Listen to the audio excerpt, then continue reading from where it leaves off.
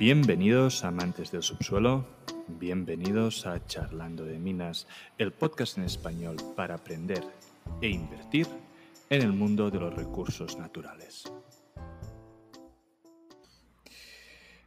Bienvenidos, hoy tenemos el placer de entrevistar a Nicolas Appleyard, CEO de Tristar Gold. Tristar Gold es un desarrollador de un proyecto de oro eh, en Brasil la compañía es Public Trade en la Bolsa de Toronto con las siglas TSG. Nicolás, bienvenido al programa. Ah, ¿Podrías, por favor, introducirte y explicarnos un poco sobre tu experiencia y background? Sí, mucho, mucho gusto. Muchas gracias por tenerme aquí hoy día. Ah, sí, yo soy un, um, originalmente soy geólogo de Australia um, y ya tuve la, los últimos 25 años explorando, desarrollando proyectos de oro en Sudamérica. Um, más o menos estas ha sido el foco de mi carrera ahora, ¿no? desarrollando proyectos, no, no en exploración, no en la parte de mina o ni construcción, pero el desarrollo, desde una, una discovery hasta la decisión para hacer una mina. Ese es mi, es mi fuerte, fuerte de mi equipo, sí. Muy bien, muy bien. Ah, entonces, ¿podrías eh, describirnos brevemente y luego ya entraremos en detalle el proyecto de Crystal Gold y cuál es el objetivo de la compañía? Sí, el proyecto se llama Castelo de Sueños o Castillo de Sueños. Mm, es un proyecto de oro en, um, en, el estado de Pará, en Brasil.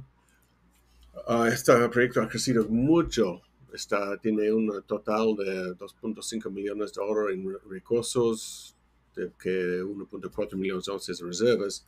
El blanco de la, compañía está más o menos cambio este recurso en, la tierra hasta un plan de negocios con un permiso.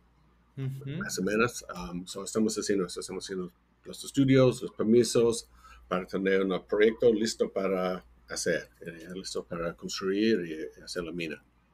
Perfecto. Entonces, como has contado, ¿no? Tristar Gold está desarrollando este proyecto en eh, Castillo de Sueños, no sabía la, traducción. Eh, estáis en etapa de prevalidación, pre-feasibility. y como es la primera entrevista, sí que me gustaría si podrías describir o explicar un poco la historia del proyecto. ¿Cuándo lo cogisteis vosotros? Cómo habéis llegado al proyecto que tenéis ahora y luego discutimos un poco eh, el estado actual.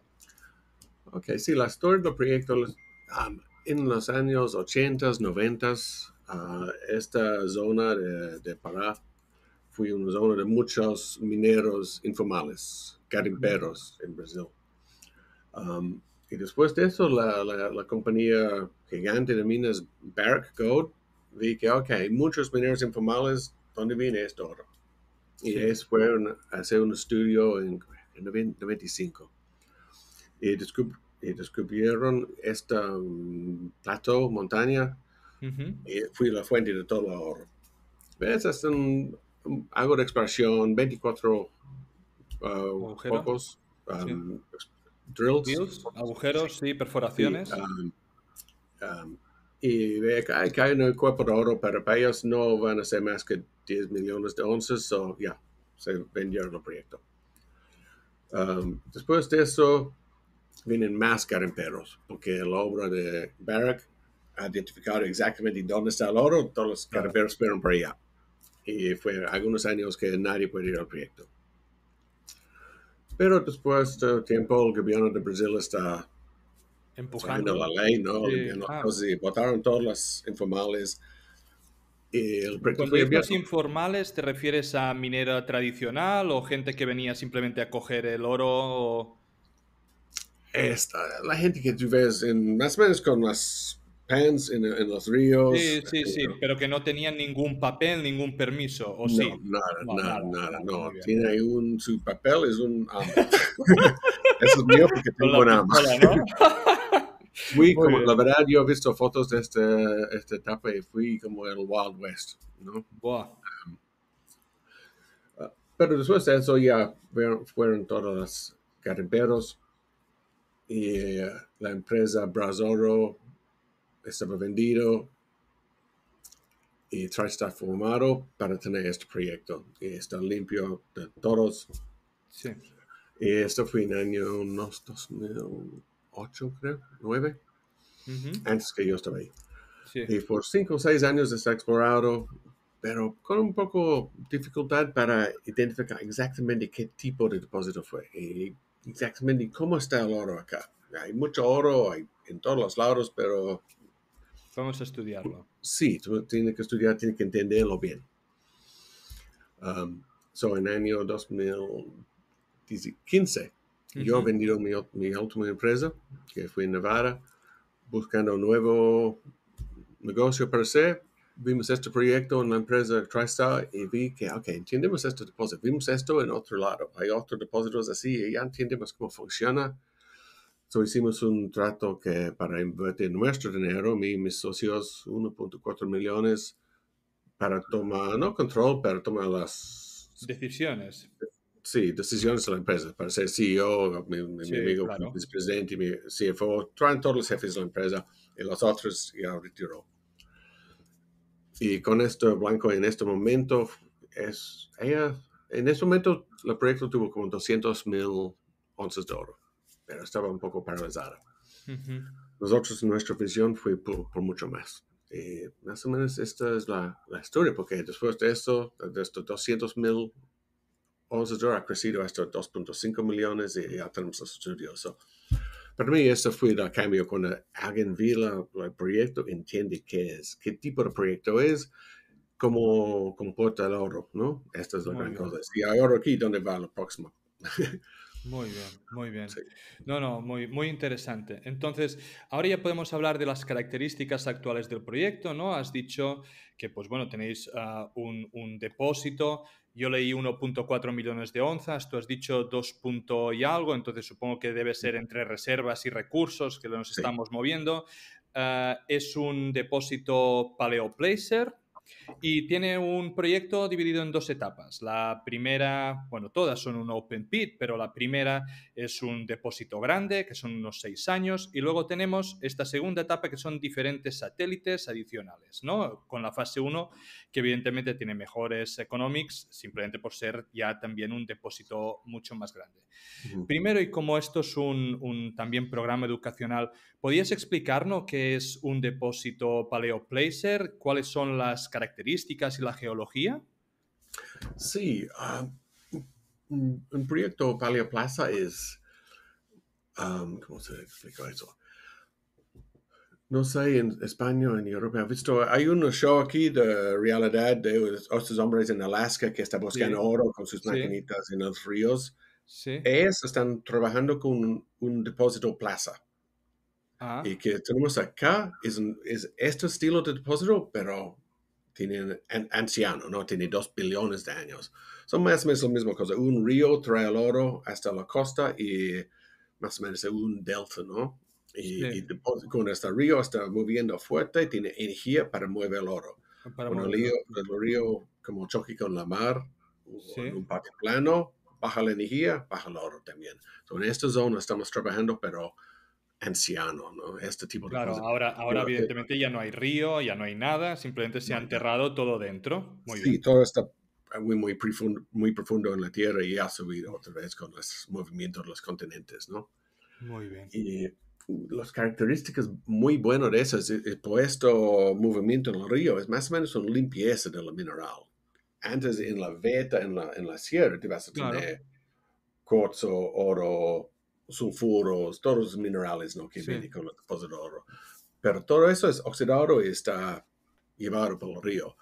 Que quedamos en la parte donde deja el oro es arena, sílica y oro. Y está bien limpio, o sea, ambien- por la- el lado ambiental está limpiecito, no hay nada malo en esto. So, y parte de metalurgia también es bien fácil porque no hay nada para Claro, es mucho, es mucho, más, mucho más simple, ¿no? Entiendo, Sí. Entonces entiendo que es todo óxido de oro, ¿no? Por lo que has dicho, Sí, bueno, el oro es solo oro, sí, no, no está incluido con nada más. con nada más. Y, y entonces también, por cómo lo has explicado, puedo entender de que la, la, geología o el trabajo que es de quitar el oro es relativamente simple, porque no parece de que haya ser una roca muy dura que tengas que perforar, sino debe ser... O, o, sí, o, sí, es roca dura, sí es roca dura, porque es anciano, está, está cocido más o menos y está vuelto muy, muy duro, muy fuerte, sí. pero está limpio. Es como tienes estas mesas de cocito, ¿no? Blanca, sí. bonito, ¿no? Es un poco como esto, pero con gotas de oro. Gotas de oro. Es limpio, no hay nada mal. Y, no se, y, y muy bien. ¿Y, realmente las, las, piezas se ven de oro? O sea, ¿ves chicken nuggets o, o, o no? no? No, son, no son nuggets grandes, son sí. nuggets chiquitos, como, um, you know, más o menos el, tú puedes verlos, pero son chiquitos. Chiquitos, ¿no? son chiquitos. chiquitos. Sí, sí. Muy bien. Y esto, esto ayuda para hacer, porque tan fino, están, ¿cómo se dice? distribuido entre la roca es más fácil para explorar. Si son claro. nuggets grandes, es más difícil para explorar. Claro, Porque tú claro. puedes freír, no, no tienes y, y el no, nugget. y no das el nugget y entonces tienes nada. Sí, sí, sí. Sí, o si tienes el nugget, tienes un lay muy alto, pero no sé si está correcto no. Claro, claro, Sí, claro. cuando está fino y distribuido y más o menos bien, está más fácil. Eso sí, es un buen depósito, pero la cosa de estos depósitos es no hay mucho de estos depósitos en el mundo. Ajá. Pero cuando hay estos depósitos son grandes. Ah, creo que la, la, la estadística es 40 hasta 45% de todo el mundo, de todo oro en el mundo viene de este estilo de depósitos. Ajá. Pero es como you know, Sudáfrica Sí. y un par de depósitos en, en Brasil son este estilo. Um, ¿Y, y, y cuál es, ya, ya que has dicho son depósitos muy, muy grandes, cuál es más o menos la, la media o aproximada de qué tan grandes son estos depósitos? Um, well, la- hay dos proyectos que son muy parecidos de Castelo de Sueños. Sí. Eh, una es, se llama Jacobina, que está en Brasil, es una mina de la empresa Yamana. El otro es una mina que se llama Takwa en Ghana, que es Ujú. um, Goldfields. Um, Takwa tiene más o menos 30 millones de onzas. Ah, creo que Jacobina es 10 a 15 millones de onzas. So, esos son grandes. Lo, lo de Sudáfrica, de Witwatersrand, Sí. es un paleoplasto, pero es un poco más viejo, es un poco diferente en su estilo y es inmensa. I mean, eh, no es válido para hacer comparación a eso porque Claro. es un monstruo. Pe- Pero entonces, ah, y, y ya hablaremos después, ¿no? Pero entonces vosotros entiendo que creéis de que el depósito es mucho más grande que estas 2.5 millones de onzas. Yo creo que sí, y la parte para, para nuestras habilidades es para, ok, sí, sabemos que hay, o estamos más o menos seguros que hay un, un gran cantidad de oro en este depósito. Estamos buscando qué, qué parte de esto está factible o no. you know. Claro, claro. Que Sí, porque algo va muy profundo y no, va, no vale la pena para buscar eso, pero estamos buscando la, qué parte es factible de, de, de todo oro acá. Muy bien. ¿Puedes explicarnos un poco sobre eh, los grados y los económicos del proyecto? Sí, el, el depósito tiene un, un grado, más o menos, tú, tú hablaste de las dos fases que tenemos, fase 1. Fase 1 es más 1.3 gramos por tonelada, fase 2 es 0.9 gramos por tonelada, um, con una recuperación metalúrgica de casi 100%, 98%, so, todo oro recuperamos. Y con esto, las, el economics son, parte economía es- es- está muy fuerte, ¿no? Tenemos una um, tasa de return, IRR, Sí. de 28% después de impuestos, Muy bien. eh, un um, NPV, Net Present Value, no recuerdo eso en español, ah, Sí, de lo 320 entiendo. mil, sí, se usa, se Sí. usa, no te preocupes. sí, NPV, de, de 320 millones de dólares. ¿Con qué tasa de descuento está calculado esto? ¿5, Esta 8? está con 5, 5. con 5 de descuento y con un precio de oro de mil, eh, 1550. Muy bien, muy bien. y con un cambio de, en, de reales, en Brasil a Sí. los dólares 5 de 1 y el, el verdad es 5.5 a 6 ahora. so. Bueno, entonces es unos números muy buenos en el cual Sí. pues el oro esperemos que no baje de los 1500, ahora no, estamos Sí. a 1800, veremos un poco cómo evoluciona, pero bueno, yo creo que los números son, son sólidos a partir de aquí. Sí. He, he escuchado algunas de tus entrevistas pasadas, ¿no? Y veo que enfatizas mucho en el strip ratio. Entonces, eh, lo mismo, como es un programa educacional, explícanos un poco qué es lo del strip ratio y, y por qué es tan importante.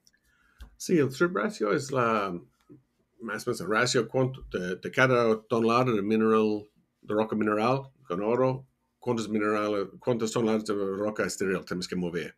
Ujú. Y en este caso es para cada tonelada de mineral tenemos que mover on- 11 toneladas de, mineral, de estéril.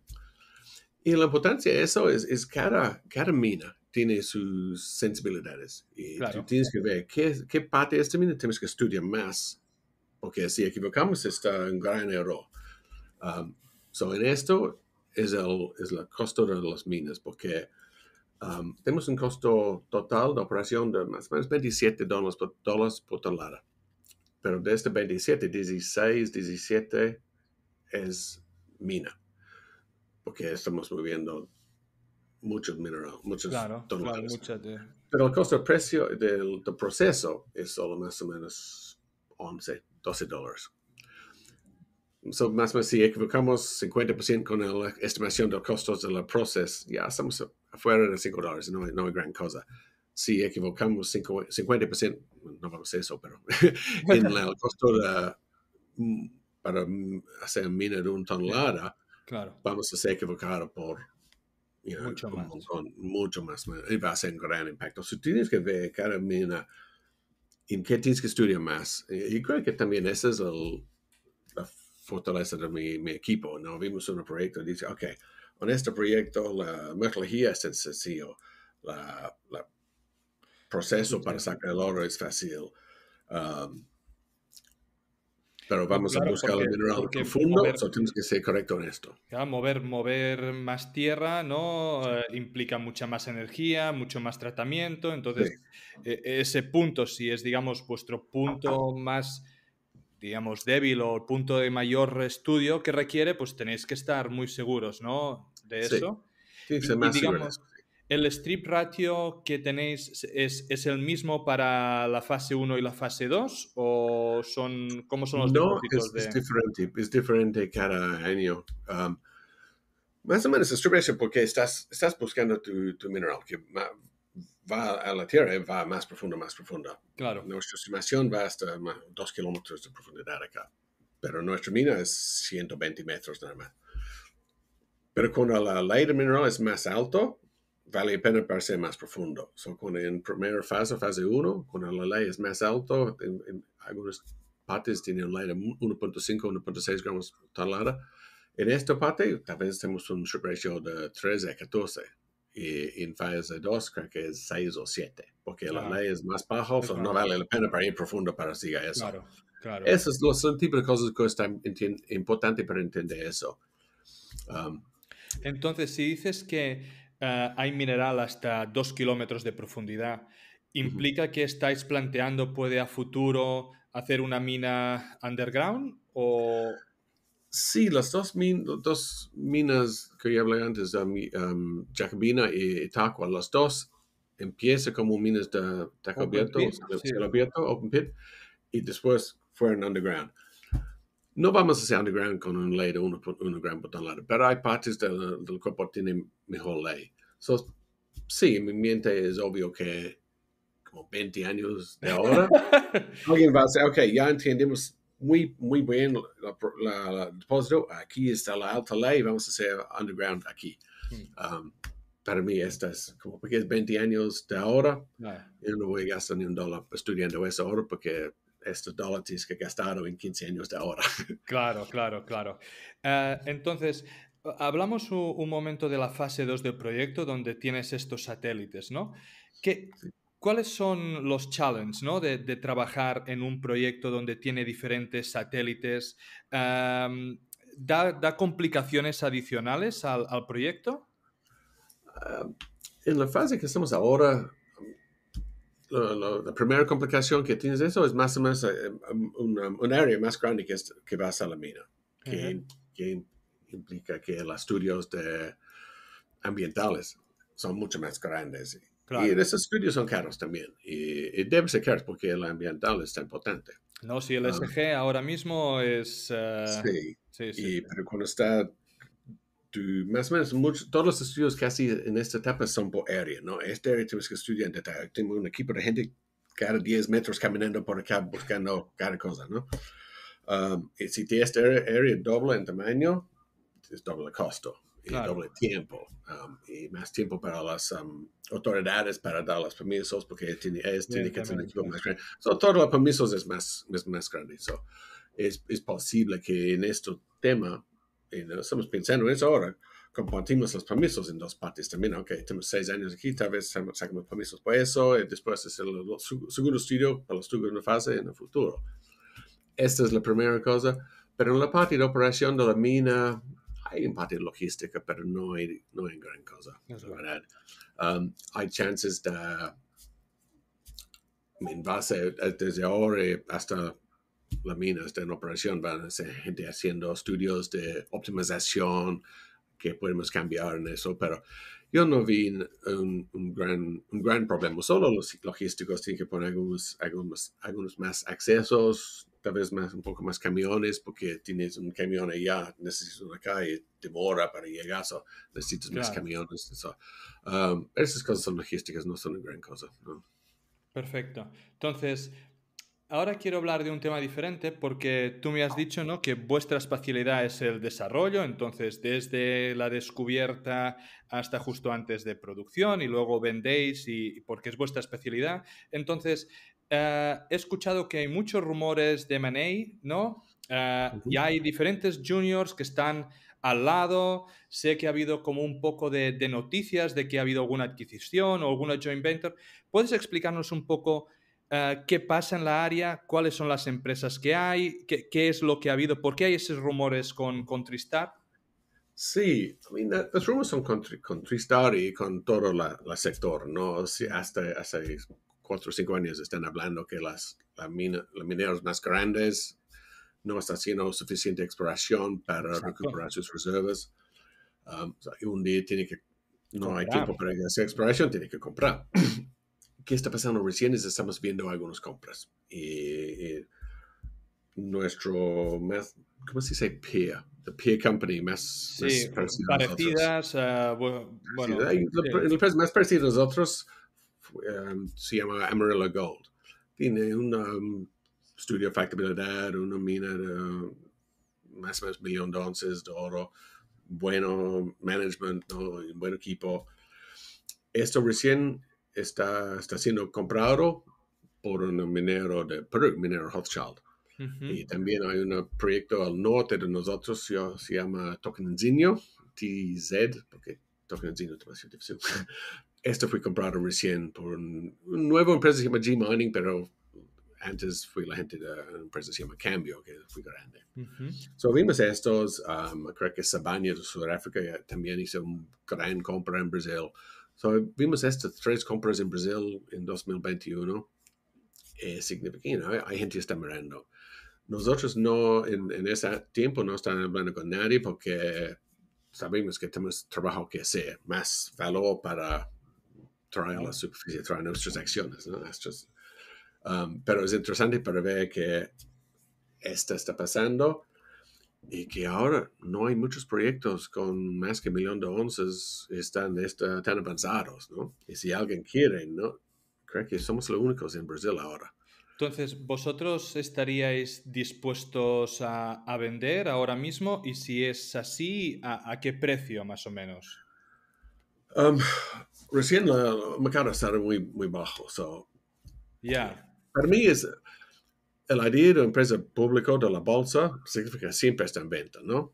sí, Puedes ir a claro. comprar las acciones so, y, y no es bueno como un CEO diga, no, no, no voy a vender. No, si es mejor para los accionistas, ya es- está en venta. Um, pero no estamos buscando un comprador ahora. Um, pero si alguien viene, I mean, you know, para mí, no sé, me gustaría tener un dólar por las acciones, you know. Y, Muy y pienso que tiene, va a tener valor eso cuando, cuando, cuando tenemos esos permisos de todo eso. Claro, Si tenemos un reservas de 1.4 millones de onzas con permisos para construir, esto va a tener gran valor. So, gran valor. la- la- las, las acciones, el mercado no da este valor por la, por la bajada que vimos en, en las- en el mercado general. Sí. Um, so ahora estamos trabajando como Sí, ahora puede que no sea el mejor momento. Veremos a ver si, si mejora todo, si después de las subidas de intereses, y a ver cómo se comporta el oro, entonces, pues bueno, puede que sea otro, otro momento. Sí, pero también hay otras opciones, no solo puede ser en venta, puede ser una combinación de empresas. Si hay otras empresas, sí, no necesariamente una combinación completa de un merger de empresas, puede, ser, esto puede ser interesante con esto, este estilo de, um, de combinación. Nuestros accionistas, si tiene, todavía tiene acceso a Castillo de Sueños y, y a los de valor en eso.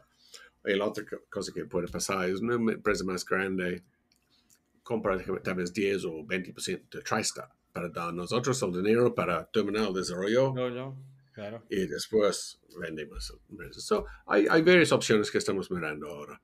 muy um, bien, muy bien. Sí, sí. Um, ya que, ya que ahora se ha hablado de esto de, de una posible, digamos, compra, un 10% de una grande, eh, mm, me ha venido un poco a la cabeza la caja. ¿Cómo estáis de caja? ¿Podéis hacer el desarrollo? ¿Podéis seguir trabajando con la caja que tenéis? Sí, tenemos más o menos 5 millones, millones de dólares americanos, um, que es suficiente para hacerlo. Sigue con los permisos, sigue con la empresa bien. Mm, eso no es suficiente para hacer todo lo que queremos hacer. Claro. Um, pero podemos seguir eh, hacer los permisos con esto en un mundo perfecto, quiero un poco más para ser para creciendo el recurso, para hacer una exploración. Um, ah. so, siempre tengo un ojo buscando más dinero, pero no es urgente. Con los 5 millones que tenemos, podemos trabajar tranquilamente sin presión de, para tomar mal negocio. Malas decisiones, muy bien. Y un accionista que entrase hoy a Tristar Gold, ¿qué puede esperar en un año de la compañía? ¿Qué noticias puede esperar? Um, bueno, las noticias grandes van a ser los permisos y los estudios de optimización que estamos haciendo. Esas son las grandes cosas más importantes, creo. Um, y estoy seguro que este año vamos a estar perforando, haciendo un poco de exploración también. Para mí, esta es más la, ¿cómo se dice? La crema, ¿no? Pero la, café, la, la cosa verdad es la es las recursos, es la, optimización de la mina y, los permisos. Muy bien, muy bien. Entonces, vamos a hablar del management. Ah, tú has dicho de que tu equipo tiene mucha experiencia en el desarrollo, ¿no? En toda esta etapa. Entonces, explícanos un poco quién está dentro del equipo y su experiencia o lo que quieras destacar. Ok, ya. Ahora tenemos... Um, por el cuerpo del trabajo técnico que hicimos hasta ahora, tuvimos un vicepresidente, Moshe Vastava, que más o menos es el hombre que escribe el libro de geostatística. La verdad, tengo su libro ahí. Él, él escribió el libro. es muy bueno. Um, él hizo todas las estadísticas de geología, el modelo de recursos. Y para mí esta es la base de todo. es muy bueno que tenemos una muy buena calidad de trabajo en eso. Pero ahora estamos cambiando, como dice, ya tenemos esto. So, Tenemos otro, vicepresidente, se llama Andrew Grant, que es uh, vicepresidente de sostenibilidad. Más o menos los permisos ambientales, nuestra comunicación con las comunidades, todo eso. Y Andrew tiene hace 20, 25 años haciendo eso en, en todo el mundo, ¿no? Y, y, lo bueno es él, habla portugués, yo no, hablo portugués. Él ha sido este trabajo conmigo en Ecuador, en Perú. Um, yo sé, él ha trabajado en Centroamérica, en África, en Papua Nueva Guinea. Um, y la verdad que me gusta es escuchar de él que hay, siempre hay trabajo que hacer, pero este, este proyecto parece ahora lo más fácil, porque la, la comunidad que tenemos es son amistables, entienden la minoría, no son contra la minoría. Eso es muy importante. sí, eso es bien importante. Y, y, son abiertos para hablar siempre nosotros y quieren trabajo, pero también tienen trabajo, no están gente empujándonos. So, um, so el rol de Andrew ahora es lo más importante de, este permiso. Bajo él tenemos nuestro muy buen equipo en, en Brasil. Todos los brasileños no tienen ningún expat en, en Brasil. Está, los, los, profesionales brasileños son muy buenos.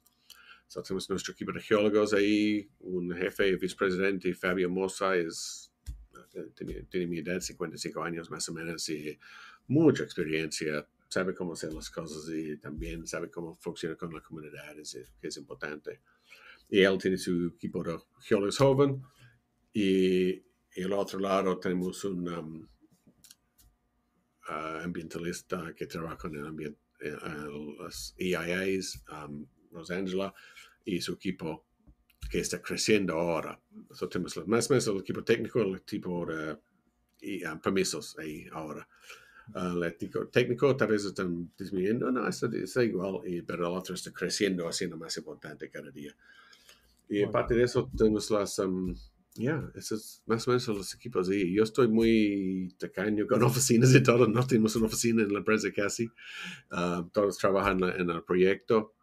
Y, you know, ya está. Y tenemos un director también de la empresa, de TriStar, que está de Brasil. Es el abogado de la empresa de abogados más grande de Brasil. So, él ayuda mucho con la parte legal en Brasil, que está diferente de, de mi experiencia en Perú, en Ecuador, la cultura de muy bien. Sí. Luego, cuando hablaremos un momento del país, porque uh, la vuestra es la primera empresa que entrevistamos que está trabajando allí y, y, entonces te pediré que hagas cinco céntimos, digamos, un poco de, de cómo es la, la, legalidad allí. Entonces, quería preguntar, ¿cuál es más o menos el porcentaje de acciones que tenéis el board o los directores? Y si tenéis institucionales dentro. Sí, más o menos nosotros decimos que um, uh, entre los directamente los directores o los, los gerentes, no sé, 12, 15% de la empresa. Muy bien. Um, pero con, si incluyes amigos y familias, está 25, you know, friends and family, yeah, um, yeah, yeah. Es, es casi 25%. ¿no? sí, es casi 25%. Muy bien. Muy bien. Bueno, una buena skin in the game. Un buen skin in the game, un 25%. Cuando, cuando, yo entré en la empresa en 2000, enero de 2016, no fui dinero en la empresa. So decimos, ok, ya todos van a trabajar sin dinero. Cuando buscamos dinero know, y traemos um, uh, investors, investors. Y, uh, inversores. Inversores y tenemos dinero vamos a pagar los sueldos de todos, pero pedimos por favor que invierte ese dinero en la empresa. Y todos hicieron. You know, I mean, guarda un poco para ellos, pero todo, porque yo quiero que todo está siento como dueños, ¿no? No quiero claro. ser un gerente haciendo decisión, ah, ese es mi día, mi, mi, trabajo, pero ya cinco me voy. Pero quiero que él sienta y piensa como un dueño, ¿no? Claro, claro. No, no, so, eso, eso creo que es, es muy importante en una empresa pues que está o en exploración o, o en desarrollo, ¿no? Y sobre sí. institucionales, ¿quién tenéis de institucionales dentro de la empresa?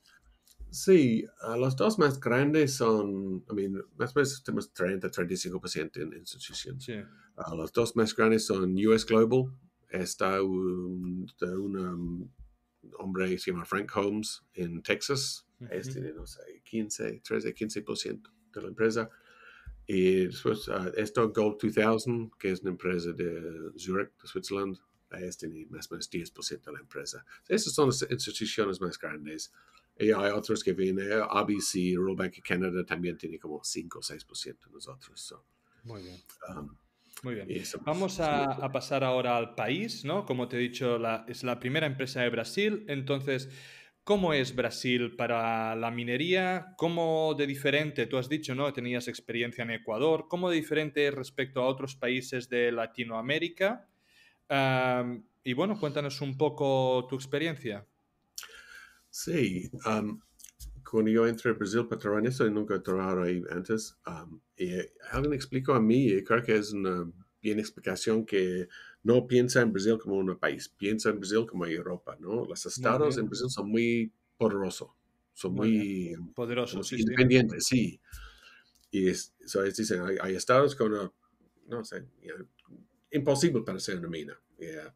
Un Pero poco, eso lo había escuchado mucho de Argentina, que hay pues uh, provincias mineras muy fuertes y que permiten todo y, y, y, otras que no puedes hacer nada, ¿no? Entiendo que Brasil Exacto, funciona sí. parecido.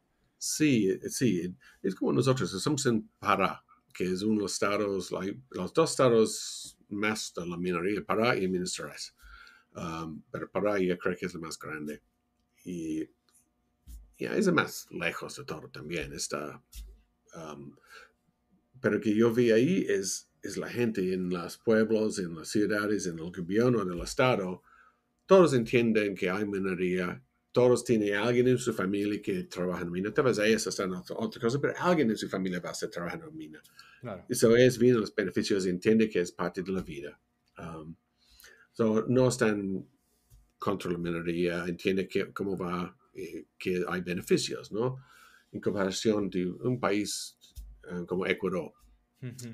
um, esto no pasa ahí, la gente del gobierno no entiende miner, miner, las, las minas tú hablas con cualquier persona en la calle o en la comunidad uh, uh, en, en, la, en, la, sierra, ninguna de ellas van a tener un familiar trabajando en una mina. So, no van a entender los beneficios y, solo va, y si alguien está tratando para hablar de las malas partes de minas, ellos no tienen su propia mente las, las buenas partes. So, es más difícil en un lugar como Ecuador para hablar de la minería en una conversación normal.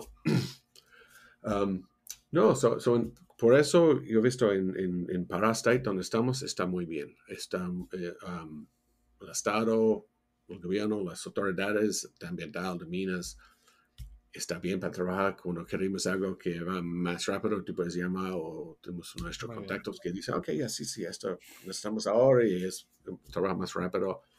Um, so, yeah, sí, um, creo bien. que está, está, muy bien, sí. La única cosa, la otra cosa para decir es que vi antes fue Chile y Perú los mejores lugares, pero todos cambian con sus políticas y esos dos son un poco más difíciles ahora, ¿no? Pero sí, sí, sí, sí, sí, Chile, Chile y Perú han cambiado, ¿no? Parece un poco hacia la izquierda, parece que los presidentes pues ya no son tan amigos o quieren cargar más a las mineras, puede que las cosas, hay muchas protestas, no, no, en cambio, bueno, de Brasil no escucho nada, entonces... No, eh, no, sí, está, está bien, no tenemos ningún problema ahí, so está, está, bien. Un buen lugar para hacer minas está en el lugar correcto. como Estados Unidos, está en Nevada, bien, California, overall, ¿no?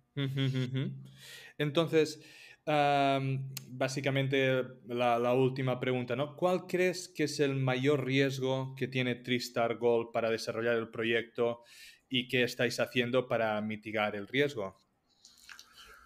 I mean, aparte del precio de oro, el mercado general. Sí, eso, no, um, eso no lo puedes controlar aún. sí, no puedes controlar eso, no. Um, mejor, mejor riesgo. I mean, para una empresa como TriStar, el riesgo porque tenemos un proyecto. Y si alguien encuentra una rana en, en peligro, ¿no? Um, uh -huh. O algo así, o um, operimos la confianza de la comunidad. Um, yo creo que la parte, um, como las ranas, es un broma, pero estamos estudiando todo eso bien y, y, no tengo problemas ahí. Para mí, el mejor riesgo es pedirnos la confianza de la comunidad, porque tenemos una buena relación y yo sé que es con años de trabajo tienes una buena relación, pero tú puedes perderlo en 10 minutos. ¿no? Sí, si tú haces algo equivocado, pero todo eso confianza rápido. So, tienes que estar trabajando con esto todavía, porque yo tengo mi mente en, en, todo el mundo, no Brasil, pero en todo el mundo. Si la comunidad cerca del proyecto quiere la mina, vas a tener la mina. La comunidad no quiere, no vas a tenerlo. So, ese es, no es único este proyecto, es, es todos los proyectos. I mean, mm. you know, mm. Sí, porque la gente en el gobierno, en el capital, sí. van a escuchar las quejas de la gente que vota. Sí, sí, so, sí Sí, no, no, está, es poco, está sí. muy bien que, que, que, tú, como director ¿no? de la empresa, tu, tu mayor concern, ¿no? Pues sea o mayor peligro, pues sea, sea realmente, posiblemente con, con la comunidad. Entonces quiere decir que el proyecto técnico pues lo tienes muy seguro, estás muy segura de todo el proyecto que habéis desarrollado y no tienes ningún concern allí, ¿no? Que todo está bastante cerrada. No, sí, no tengo un... No, I mean, siempre hay cosas que vas a cambiar. Siempre, siempre, claro, pero, pero sí, no tengo un... Y es para tener esa base de recursos de, de nuestro Moshe uh -huh. Yo confío, es, es el más confiable que puede ser el recurso. De oro está en la tierra. Y ya cambiamos las cosas todas de manera para sacarlo, pero es ahí, esa es la base de todo el trabajo técnico y estoy bien confianza, tengo mucha confianza en esto. Muy bien, muy bien. Pues nada, simplemente quiero agradecer tu tiempo. Eh, quiero realmente decir a la audiencia que, aunque no lo parezca, no es eh, tu lengua materna el español, que muchas gracias para, para hacer el esfuerzo. Creo que toda la audiencia va a valorar el hecho de que una persona que habla inglés ha hecho el esfuerzo para ser entrevistada en español y poder compartir y explicar la historia de Tristal Gold a la comunidad hispanohablante. Eh, espero poder charlar contigo cuando se hagan los permisos, cuando las cosas vayan evolucionando dentro de la compañía. Y simplemente, si quieres un último minuto para dirigirte a la empresa, a la empresa, perdón, a la audiencia, un último final. No, solo que para mí es un, um, las inversiones en oro y las empresas de oro no son para todos, pero en los tiempos que vimos ahora es mi mente es, es una cosa que todos tienen que hacer un poco de esto, ¿no?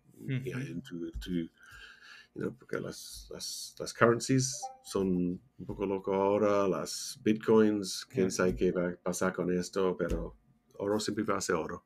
Sí, es lo único que mantiene el valor a través del tiempo. Sí, sí. Pues muchas gracias, Nicolás. Ok, muchas gracias a todos. Este podcast no deja de ser un relato personal de mi camino para aprender en el mundo de la inversión de las materias primas. En este podcast vamos a intentar sacar contenido educativo, entrevistas con empresas y tesis de inversión para que juntos podamos aprender de este fascinante mundo del subsuelo. Si crees que el contenido vale la pena, por favor dale me gusta, suscríbete al canal y compártelo. Soy Amadeo Bonet, bienvenido a Charlando de Minas.